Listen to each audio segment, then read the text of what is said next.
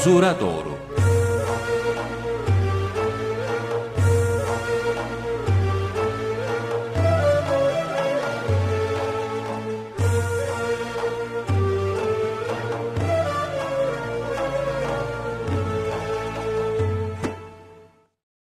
Merhaba sevgili izleyicilerimiz. Yeni bir programla daha sizlerle birlikteyiz. Her zaman olduğu gibi Osman Ünlü hocamız var yanımızda. Yine kendisiyle sohbet edeceğiz ve sizlerin merak ettiği konulardan birini daha soracağız. Hocam çok gelen sorulardan birisi e, daha var bugün elimizde. Bunu sormak istiyoruz. Rüyada Resulullah Efendimiz'i, Peygamber Efendimiz'i görmekle alakalı. Şimdi e, şöyle bir bilgi var. E, deniyor ki rüyada Resulullah Efendimiz görülürse o rüya doğrudur. Çünkü şeytan onun şekline giremez. Doğru. Peki her peygamber efendimizi rüyamda gördüm diyen gerçekten e, onu mu görmüştür aleyhissalatü vesselam?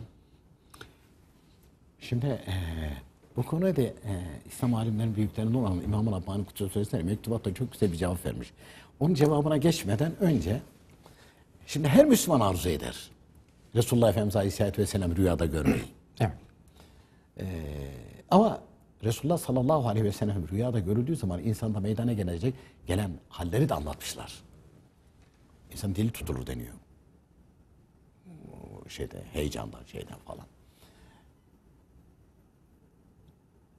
E, Çok büyük bir aynı şekilde nimettir, lütuftur, ihsandır yani e, kelime bulamıyor sö- e, Yani söylemeye. herkese nasip olmaz. Herkese nasip olmaz. Ama buyuruyorlar ki ortak olarak bütün ehl sünnet alimleri buyuruyorlar ki e, yani şartlarını yerine getirirse elbette görülür. Bizden önceki zaman dilimlerinde, asırlarda da aynı şekilde her Müslüman bunu arzu ediyor. Her alim böyle talebesini anlatırken bunları iştiyakla anlatıyor. Talebelerden iştiyakla bunu arzu edenler oluyor. Böyle bir talebe hocasına demiş efendim ben de görmek istiyorum. Böyle ısrar ediyor. Evladım demiş hele bir gayret et falan. Yok. Denip de efendim ben görmek istiyorum. Ben Var mı bunun bir yolu diye soruyor yani. Tabii ısrar ediyor. bir gün yavrum demiş. Madem bu kadar ısrar ediyorsun bu gece yatmadan önce bir avuç tuz yiyeceksin. Ama su içmeyeceksin buyurmuş. O şekilde uyuyacağım. O şekilde uyuyacaksın. O da çok yanıyor ya istiyor ya bunu. Peki diyor. Bir avuç tuzu yiyor yatıyor. Sabahleyin gel yani bana gördüğün rüyayı anlat. Ondan sonra geliyor. Yani sabah kalkıyor geliyor. Diyor ki "Anla- anlat bakalım evlat rüya gördüm. Gördüm efendim diyor. Ne gördün? Efendim diyor sabaha kadar. O dere senin, bu pınar benim. Orada su varmış, burada şu çeşme varmış falan diyor. Sabaha kadar diyor. Böyle pınar, çeşme, kuyu yani su bulunan yer neresi varsa oralar dolaştım durdum diyor. Sabaha kadar diyor rüyamda. E tabi o zat bir şey anlatacak talebe anlamadığı için bu yola başvurmuş. Buyurmuş ki yavrum nasıl bak tuzu yiyince yanıyorsan susuzluktan ve rüyanda da sudan başka başka bir şey görmüyorsan Resulullah Efendimizin aleyhissalatü vesselam aşkıyla da böyle yanman lazım. O zaman görürsün buyurmuşlar. Böyle görürsün. Tabi bunların sebep ve hikmetlerini de aynı şekilde bildiriyorlar. Ee, şimdi evet hadis-i şerif olarak Peygamberimiz Aleyhisselatü Vesselam buyuruyor ki rüyada beni gören o benimdir. Şeytan benim suret, suretime girmez.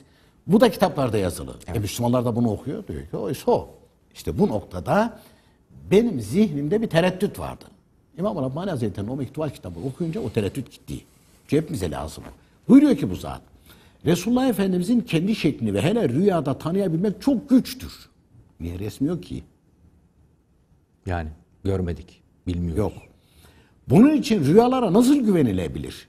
Alimlerin çoğunun dediğine uyarak ve Resulullah Efendimizin yüksek şanına yakışacak, yakışacak e, üzere şeytanın hiçbir şekilde o serverin ismiyle görünemeyeceğini söylersek o şekilden emirler almak ve onu beğenip beğenmediğini anlamak o da kolay değildir. Velev ki Resulullah Efendimiz'i gördü. Bana böyle buyurdu. Rüyada alınan emirle de amel edilmez buyuruyor İmam Rabbani Hazretleri. Çünkü uyanıkken bildirilmesi gerekiyordu. Uyanıkken bildirmiş bildireceğini. Rüyada ben Resulullah Efendimiz'i gördüm. Velev ki diyor İmam Rabbani Hazretleri. Gördüğün doğrudur. Gördüğün Resulullah Efendimiz'dir. Ama o rüya alemidir. Belki o kelime orada farklı anlama geliyordu. Veya o kelimelerle farklı bir şey anlatıyordu. Sen farklı anladın. Bu tehlike de var buyuruyor. Bu tehlike de var. Şeytan araya karışarak olmayan şeyi olmuş gibi de gösterebilir buyuruyor. Burası önemli. Kendi sözlerini ve işaretlerini o şeklin sözleri ve işaretleri imi, imiç gibi de gösterebilir. Şeytana Cenab-ı bu kuvveti vermiş buyuruyor. Bir gün Resulullah Efendimiz eshabıyla oturuyordu. Kureyş'in ileri gelenleri de oradaydı. Resulullah Efendimiz onlara ve Necm suresini okudu. Onların putlarını anlatan ayet-i kerimeye gelince şeytan putları öven birkaç sözü o servenin sallallahu aleyhi ve sellem sözüne ekledi. Dinleyenler bunları da o serverin Peygamber Efendimiz'in sözü sandılar. Şeytanın sözlerini ayet-i kerimeden ayıramadılar. Orada bulunan müşrikler Muhammed bizimle sulh yaptı, putlarımızı övdü dediler. Müslümanlar da okunan sözlere şaşa kaldılar. O server şeytanın sözlerini anlayamadı. Ne oluyorsunuz diye sordu. Eshab-ı kiram siz okurken bu sözler de araya karıştı dediler. Hani bazen gazetelerde falan şey yapılıyor ya. Hadise bu işte o. Şeytan girdi araya. Ya alemlerin Habibi Muhammed Aleyhisselam'ın rüyada bile suretine giremeyen iblis Peygamber Efendimiz Aleyhisselatü Vesselam ve Necm suresini kafirler okurken orada e, secde ayet de geçmişti. Ve Necm suresini okuyordu. Lat, Menat, Uzzat putlarının isimlerini şak diye devreye soktu Resulullah Efendimiz sesini taklit ederek. Arkasına da secde de geliyor. Peygamber Efendimiz secdeye gitti. Müşrikler de gitti secdeye. Bravo dediler tamam mı? Sulh. Sulh, barış oldu. Resulullah Efendimiz şaşırdı. Ne oluyor dedi. Çünkü duymadı Resulullah Efendimiz onu.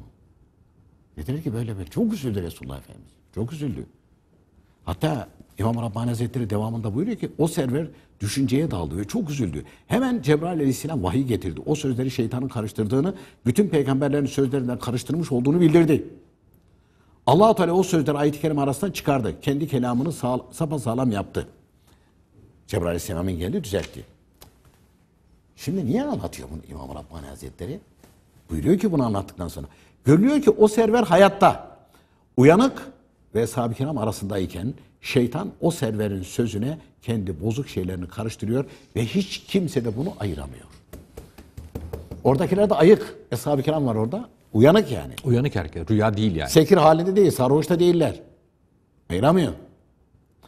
O server aleyhissalatü vesselam vefat ettikten sonra bir kimse uykuda hisleri çalışmaz ve yalnızken nasıl olur da rüyanın şeytanın karışmasından korunduğunu ve onun değiştirmediğini anlayabilir. Nasıl anlayabilir? Hele bir de e, bir resim getirir önüne. Bu Resulullah Efendimiz der. E, bilmiyorsun ki sen onun suretini. Aha ben gördüm diyorsun. Dolayısıyla şeytanın maskarası oldun. Gördüğün şey gene şeytani aynı şekilde olur değiştirmeyelim. Rüyalara kıymet vermemelidir. Hüküm veriyoruz. Rüyalara kıymet vermemelidir. Her şey insan uyanık iken vardır. Bunları uyanık iken görmeye çalışmalıdır. Hatta anlatırlar ya Nasrettin Hoca merhum için. Böyle rüyasında birisiyle pazarlık yapıyormuş. Yok 100 altın. O diyormuş ya 99'dayım falan. Olmaz demiş falan. Bir bakmış göğsü açık. Tamam demiş ver demiş 99 olsun ama rüya gitti. gitti. Yani onun için İmam Rabbani Hazretleri her şey insan uyanık iken vardır. Bunları uyanık iken görmeye çalışmalıdır. Uyanık iken görülen şeylere güvenilir. Bunları tabir etmek istemez. Rüyada ve hayalde görülen şeyler de rüya ve hayaldir buyuruyor İmam Rabbani Hazretleri. Adı üstünde. Adı üstünde. Rüyada görülen de diyor rüya ve hayaldir. E dolayısıyla bir kıymet verilmez, bir değer verilmez. E şimdi bizi izleyen ve dinleyenler hatırına gelebilir. Ya ne demek istiyorsunuz? Biz bir şey demek istemiyoruz. Din büyükleri kitaplarında anlatmışlar. İmam Rabbani Hazretleri de bildiriyor. Dolayısıyla biz bu ölçüyü, bu inceliği öğrenir ve bilirsek iki de bir zırt pırt olarak ha ben Peygamber Efendimiz'i gördüm. Çünkü ben çok dinledim böyle. Geliyor falan adamın yaşayışı hiç uygun değil. Yani Peygamber Efendimiz bildirdiklerine İslamiyet'i hiç uygun değil ben Peygamber Efendimiz'i gördüm diyor. Göremez buyuruyor. İmam Rabbani Hazretleri göremez. Peki onun gördüğü ne? Onun gördüğü iblis. Şeytan çeviriyor. Ha bunun düşün, biraz düşüncesinde var. Bunu da diyor biraz böyle avutayım, iyice yoldan çıkarayım, azıtayım diye. İşte bir şekil getiriyor. Evet. Diyor Peygamber Efendimiz diyor. Bazı sözler yüklüyor buna. Ondan sonra parmağında oynatıp duruyor. Parmağında oynatıp duruyor. Dolayısıyla Peygamber Efendimiz Aleyhisselatü Vesselam gerçekten İmam Rabbani Kutsu Sesleri de onu açıkça bildiriyorlar.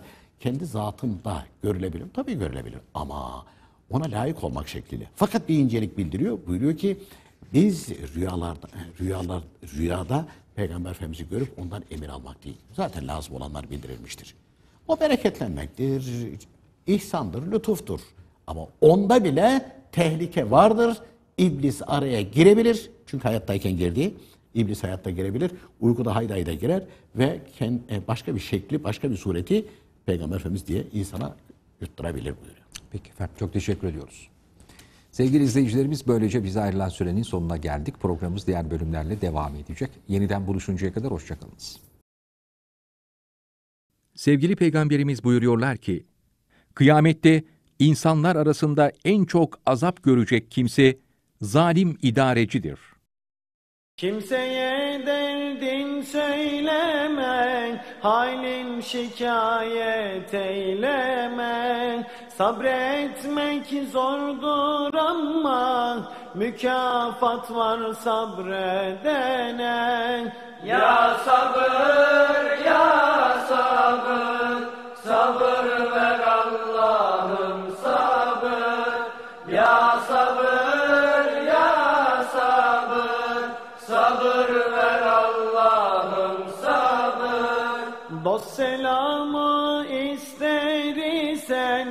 cemalullahı dilersen, elbet edersin murada, dertlere sabreder isen.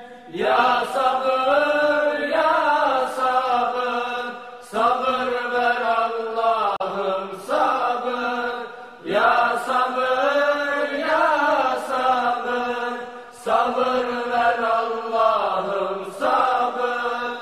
Dert çekmekten usandın mı? Külhanlar gibi yandın mı? Elbet erersin murada, sen Mevla'ya dayandın mı? Ya sabır,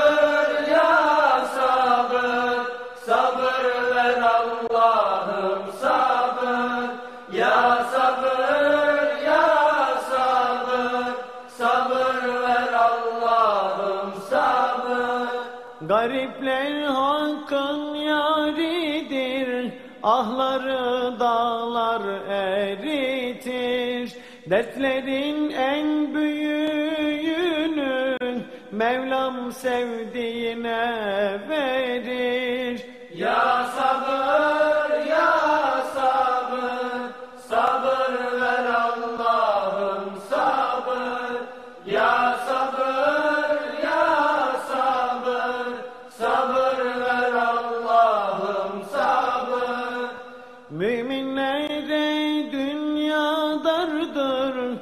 Dile kolay çekmek zordur.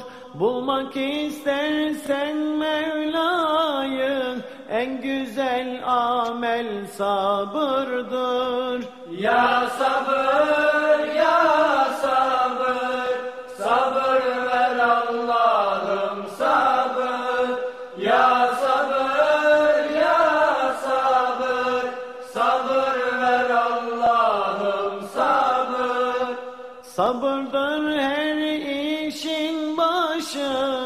sabır ile erer kişi. Boşuna sorma bunları, Mevla'nın güzeldir işi. Ya sabır, ya sabır, sabır ver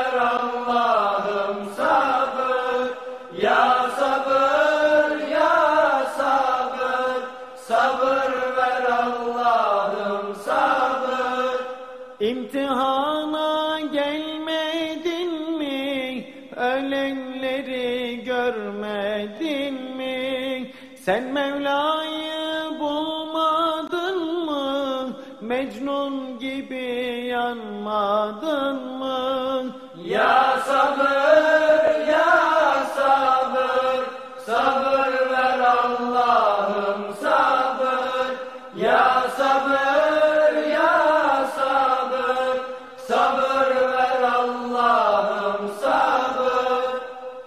Gazap etme sabırlı ol, zahmet çek de Mevla'yı bul.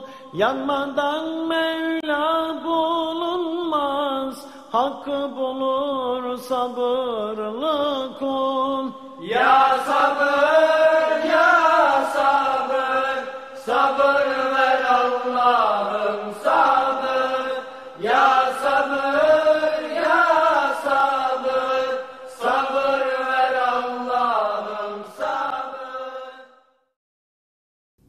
Tam ilmihal, saadeti ebediye.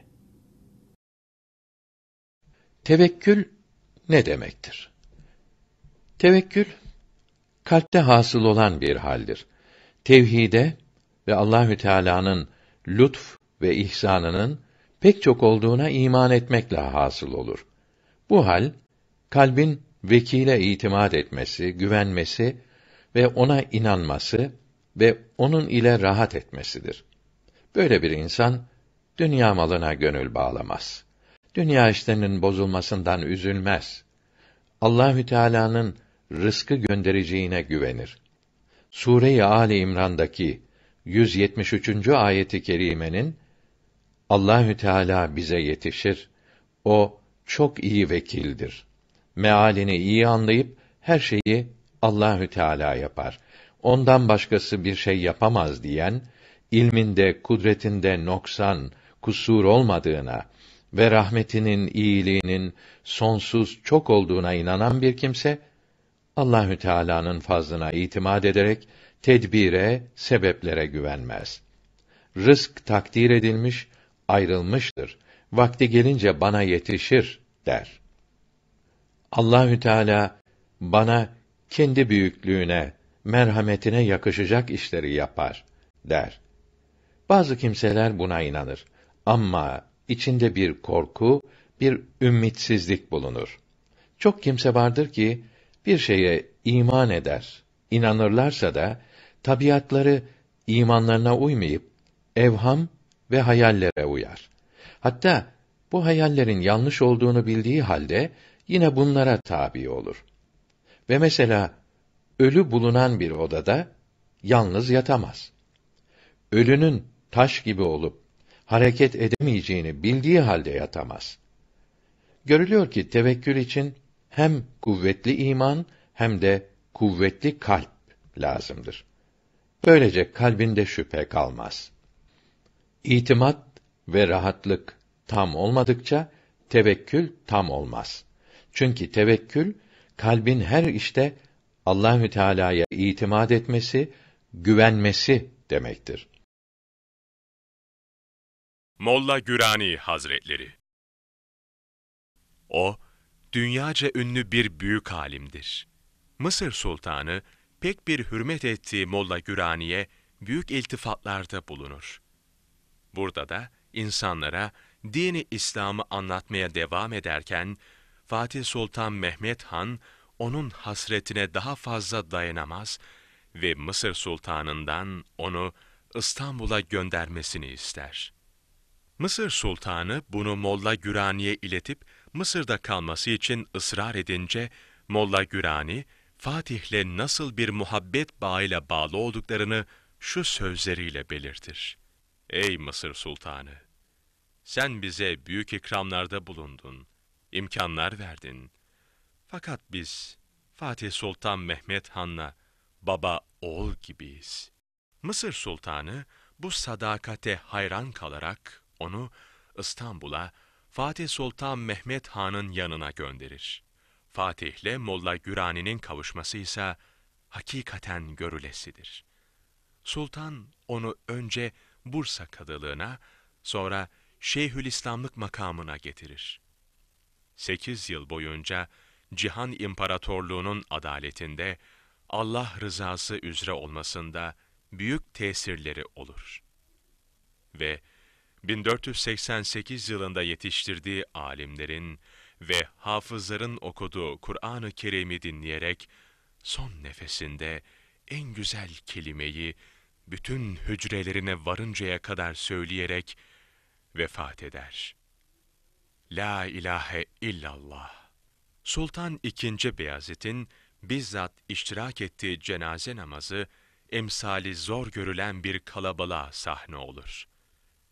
Bir büyük Allah dostunun ebediyete intikal etmesinin ayrılığı binlerce kişiyi gözyaşına boğar. Molla Gürani Hazretleri kendi yaptırdığı caminin önüne defnedilir. Aksaray Topkapı arasındaki eski tramvay yolunun sol tarafında bulunan kabri yüzyıllardır ziyaret edilmektedir sevenleri tarafından. Ömrü İslamiyete ve İslamiyet'in hizmetçisi olan Devleti Aliye'ye hizmetle geçen ve ardında binlerce talebe ve sevenini ve dört cami, bir darül hadis medresesi, bir hamam ve binalar bırakan büyük evliya, Molla Gürani Hazretleri buyurdu ki, her halinizle ehli sünnet alimlerinin bildirdikleri üzere istikamet sahibi olunuz. Çünkü sevgili Peygamberimiz sallallahu aleyhi ve sellem buyurdu ki, namaz kılınız, zekat veriniz, hac ve umre yapınız. İstikamet üzere olunuz ki, Allahu Teala da işlerinizi istikamet üzere devam ettirsin. Beden hastalıklarını tedavi etmek lazım olduğu gibi, günahlarla hastalanan kalbi de tedavi etmek zaruridir. Bu tedavinin tek yoluysa istiğfar edip günahları terk etmektir. İslam ahlakı Berika ve Hadika'da, dil afetlerinde ve Mecmuaül Enhür'de diyor ki, erkek veya kadın, bir Müslüman, alimlerin söz birliğiyle küfre sebep olacağını bildirdikleri bir sözün veya işin küfre sebep olduğunu bilerek, amden, yani tehdit edilmeden, istekle veya başkalarını güldürmek için söyler, yaparsa, manasını düşünmese dahi imanı gider, mürtet olur. Buna küfrü inadi denir. Eğer bunun küfre sebep olduğunu bilmeyip amden söyler, yaparsa yine mürtet olur. Buna küfrü cehli denir. Çünkü her Müslümanın bilmesi lazım olan şeyleri öğrenmesi farzdır. Bilmemesi özür değil, büyük günahtır. Küfrü inadi ve küfrü cehli ile mürtet olanın nikahı bozulur. Zevcesinden vekalet alarak iki şahit yanında veya camide cemaat ile tecdid-i nikah yapması lazım olur. İkiden fazla tecdit için hulle lazım olmaz. Küfre sebep olan sözü hata ederek yani amden olmayıp yanılarak veya tevilli olarak veya ikrah, tehdit edilerek söylerse mürtet olmaz ve nikahı bozulmaz. Küfre sebep olması alimler arasında ihtilaflı olan bir sözü amden söyleyen mürtet olmaz ise de bunun tövbe ve istiğfar etmesi ve tecdid-i nikah yapması ihtiyatlı olur. Camilere giden Müslümanın küfrü inadi ve küfrü cehli ile mürtet olması düşünülemez. Yalnız bu son şekilde mürtet olması düşünülebileceğinden imam efendiler cemaate tecdid-i iman duasını yani Allahümme inni uridu en üceddidel imane ve nikaha tecdiden bi kavli la ilahe illallah Muhammedur Resulullah okutarak tevbe ve tecdid-i nikah yapılıyor. Böylece la ilahe illallah diyerek tecdid-i iman yapınız. Hadis-i şerifindeki emr yapılmış olmaktadır.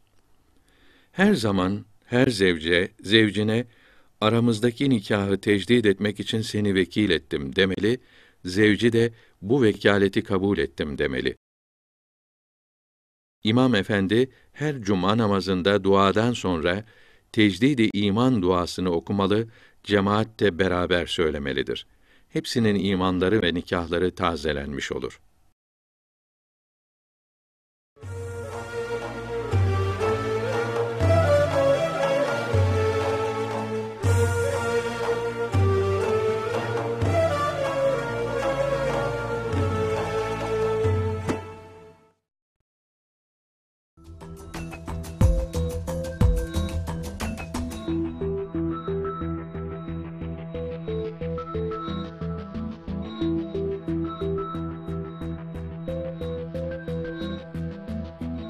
Merhaba kıymetli seyircilerim. Bugün de sizlere Suriye'nin Şirin ili Halep'ten sesleniyorum. Bab-ı Kınisrin kapısından girişte bir mescit var. O mescidi ve Bab-ı Kınisrin kalesinin, kale ve kapı bu tabi. Kalesinin asker e, konuşlandırdıkları bölümlerin sadece kapılarını göstereceğim sizlere. Arkamda gördüğünüz mescit e, Hamavi yani Hamalı Halil Tayyar Hazretlerindir rahmetullahi aleyh. 1630'larda yaşamış. Halep'te çok sevilen Hamalı olduğu halde buraya gelip yerleşmiş. Çok sevilen, insanlara çok faydası dokunan bir zat imiş. Bu mescidin olduğu yer ihtimal ki tekkesi olarak da e, kullanıldı veya daha başka bir tekke var mıydı? Çünkü Halil Tayyar Tekkesi diye bir şey kayıtlarda ben rastlamadım ama o yıkılmış olabilir veya araştırmada gözden kaçmış olabilir. Burada çok kibar mini mini bir mescidi var efendim. Hemen yanında da bakınız burada sütunlarla da desteklenmiş güzel e, böyle hafif sivriye yakın kaş kemerlerle e, kibar bir halde inşa edilmiş. Hemen şöyle biraz daha yürüyorum. Burada değişik bir penceremsi yer var. Bu herhalde sonradan kapatıldı. Burada bir şebeke olma ihtimali var. Ee, Halil Tayyar Hazretlerinin kabri bunun arkasında. Şu pencereden bakıldığında yeşil ışık yanıyor. Kabri burada duruyor. Biz tabii şu anda buna giremiyoruz. Çünkü burası meskun bir mahal de değil. Belki esnaftan tek tük mescide gelenler vardır ama o da namaz saatinde oluyor. E tabii sahir zamanda da açık tutsanız emniyet biraz ihlal edilmiş oluyor. Yani bir hırsızlık olur, o olur bu. İnsanoğlu burası, ıssız bir yer. Şurada bir çeşme görüyoruz. Bu çeşme gelip geçenin su içmesi için tası var. Ama dikkat buyurun. Musluk hapsedilmiş. Niye? E musluğu çalarlar diye. Türkiye'de onun için birçok tarihi çeşmeler musluksuz ya beton dökülmüştür oluğuna, musluk yerine ya da bir ağaç çakılmıştır. Öylece kör edilmiştir. Maalesef yani insanoğlu ben e, Türkiye'de bunlar çok pırıl pırıl oluyor anlamına söylemiyorum. Burada bugünkü geldiğimiz hali anlatmaya çalışıyorum. Bir hayır yapıyoruz ama onun musluğunu birileri alıp da e, maddi istifade için satmasın, çalmasın diye de bir de koruma koyuyoruz. Hatta Türkiye'de Kur'an-ı Kerim dolaplarında camilerde kilitli olduğunu rastladığım oldu. Buradan devam ediyoruz. Askerlerin nerelerde yattığını az çok tahmini söyleyeceğim size. Oraları göstereceğim. Kalenin artık şehre açılan koridorundayız. Üstleri çapraz tonozlarla e, örülmüş. İki yanda iki tane kapı var. Birisi burada, birisi burada. İleride bir daha böyle yanda iki kapılar var. Buralar askerlerin e, yatıp kalktıkları, iskan edildikleri yerlerdi. Mutlaka bunların atlarının da dışarılarda ahırları, tavlaları mevcuttu. Tabii biz onları şimdi göremiyoruz. Hepsini birebir ortaya çıkarmak için senelerce uğraşıp da bu kaleyi e, tam bir teşekkür ettirip ondan sonra çekmek lazımdı. Bu da bizim imkanlarımız dahilinde değil. Efendim, elimize geçeni sizlere tanıtmaya çalışıyoruz. Buradan bir tarihi mekana daha gidiyoruz efendim. Zaten Maristan denilen akıl hastanesine çok yakın bir yerde. Sizler de Türkiye'ye geldiğiniz zaman akıl hastanesini eğer gördünüzse, ziyaret ettinizse, Kerimiye Camii'nin, Nakşikademi Şerif Camii'ni eğer gördünüzse, lütfen Babı Kınisi'nin de gelin. Burada hakikaten capcanlı kalmış olan bir kaleyi görürsünüz. Hatıra resimlerini de çekersiniz. Gidelim şimdi yeni mekanımız efendim. Tarsusi Camii'nin e, iç avlusuna girdik. E, dar uzun bir avlusu var. Avluda bir tane kabir, bir tane su kuyusu. Tabi cemaat çok olduğunda merkez çarşıya yakın olduğu için e, Medine çarşısına yakın olduğu için e, çok gelen oluyor cemaati her namaz vaktinde ve içeride de mescit kısmı var. Şimdi buradaki kabrin acaba Tarsusi Hazretleri'nin kabri mi dedik? Çünkü Tarsusi Hazretleri adından da anlaşıldığı gibi Tarsuslu bir zat. Abdüssamet, Kadı Muhammed bin Abdüssamet Tarsusi. Yani Tarsuslu Abdüssamet Efendi'nin oğlu Muhammed olabilir. Ee, tabii babası Tarsus olunca kendisi de Tarsusi olmuş oluyor. 1147'lerde e, vefat etmiş bu zat. Bu camiyi de ondan önce yaptırmış. Halep'te kadı olarak bulunmuş. Osmanlı Devleti'nin e, öncesindeki bir durum. Yani bu e, Zengiler dönemine geliyor. Nurettin Zengi Hazretleri ilim adamlarına çok önem verirdi ve böyle e, bir kadı tayininde çok hassas olurdu. Çünkü bir memlekette adalet yerini buluyorsa insanların birbirleriyle kavgaları az olur. Adaletteki aksaklıklar insanların arasındaki geçimsizlikleri çoğaltır. Sonra da ihkakı hak dönemi başlayabilir. Yani insanın artık kimseye güvenci kalmayıp, güvenliği kalmayıp, kendi hakkını kendi almaya kalkması. O zaman devlet bir tarafa, hukuk bir tarafa, her şey bir tarafa olur. Allah korusun. Böyle bir şey uygun değil. Zaten inançlarımıza göre de mutlaka insanların arasındaki adaleti bir üçüncü kişinin bulması emredilmektedir. Aksi halde ben kendimi hep haklı bilirim, karşıdaki de kendisini hep haklı bilecek. E o zaman haksız kim? Ortada bir olay var gibi. Halep'te birçok tarihi caminin avlusunda e, gerek Mevleviyehane olsun gerek diğer camilerde olsun mutlaka bir veya birden fazla kuyuya rastladık. Haleviye Medresesi'nde dahi kuyu varmış fakat sonradan ağzını kapatmışlar. Hani insanlar e, merakla içine düşerler şu bu olur diye mescidin içerisinde üstünü örtmüşler. Üstte namaz kılınıyor. Yani Halep'in taban suyu maşallah bereketli. E, bu kadar kıymetli insanların gelip geçtiği yerde tabii bu bereketin izleri devam edecek. İnşallah daha artarak devam etsin. Burada da bir kuyu var. Hali hazırda elektrik irtibatı yapılmış. Bu kuyudan su çekmek suretiyle e, bahçenin temizliği yapılıyor. Hakikaten pırıl pırıl bir camiyle karşı karşıyayız. Buradan içeriye girelim. E, mescidin içerisini sizlere bir tanıtayım programı bitirmeden. Geçiyorum efendim içeriye. Şimdi Tarsusi Camii'nin içindeyiz, harim kısmındayız. Üç saflık bir cami efendim. Kıbleye doğru e, uzun kenarı, e, geriye doğru da dar kenarı olan uzun bir dikdörtgen. Üç saflık. Şuradan itibaren sağımdaki olan kısım kıbleye döndüğümde bir tane beşik tonoz, ortada bir kubbesi var tepemde, kastan sekizgen olan bir kubbesi var. Yüksekçe de bir kastak yapılmış. Biraz çukurda olduğu için aydınlık versin diye herhalde. Arka tarafta aynı buradaki gibi bir beşik tonoz daha var.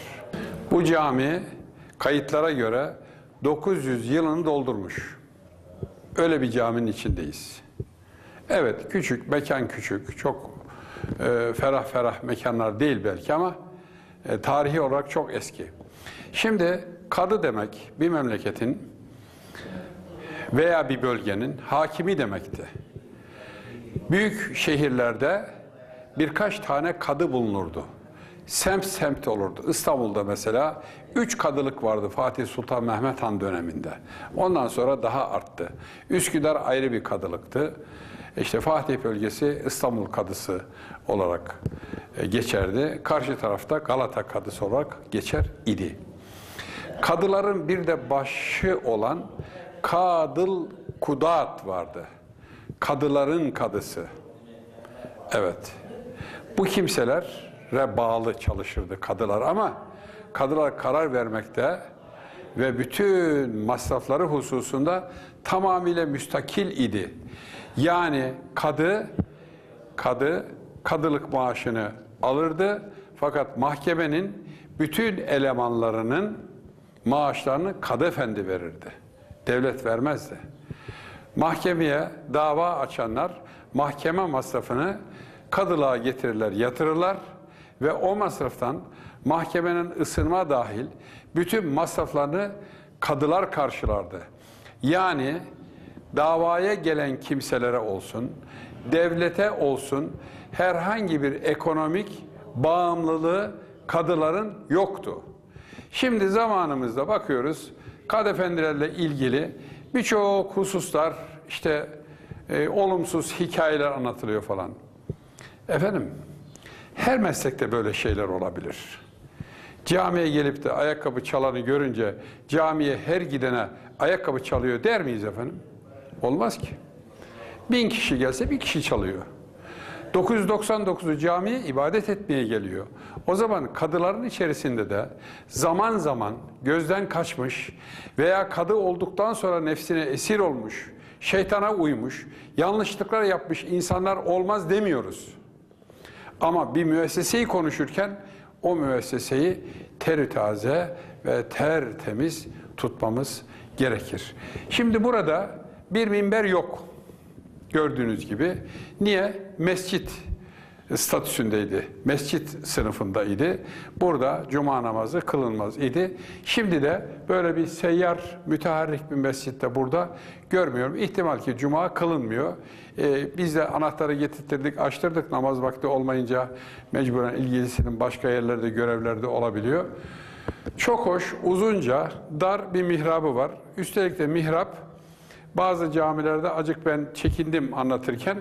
Sebep çünkü bir seccade boyundan daha fazla derinliği vardı. Bunun öyle değil. Caminin dışına taşık da değil mihrabı. Hoca efendi burada namaz kıldırırken mihrabın içinde böyle benim şimdi kaybolduğum gibi kaybolmuyor. Doğrusu da o olması lazım. Aksi halde o ayrı mekanda, cemaat ayrı mekanda muamelesi görebilir. Efendim Tarsusi Hazretleri ile ilgili bazı tarih kitaplarında Suriye'deki, Halep'teki tarih kitaplarında bilgi olduğu söyleniyor ama biz tabii o kitaplara ulaşamadık. Ulaşsak da zaten onları tetkik edecek e, bilgiye de sahip, donanıma da sahip olmadığımız için bu camiyi de sırf siz buraya çarşıya geldiğinizde Medine çarşısına Halep'in geldiğinizde e, hem bir ziyaret ederseniz Nakşı Kademi Şerif Camii'ne, Kerimiye Camii'ne de yakın, Babakır Nesli'ne yakın, Maristan'a yakın. Burayı da atlamayın. Güzel bir yer efendim. Güzel, memnun kalacaksınız. Efendim süremizin sonuna gelmiş bulunuyoruz. Hoşça kalınız.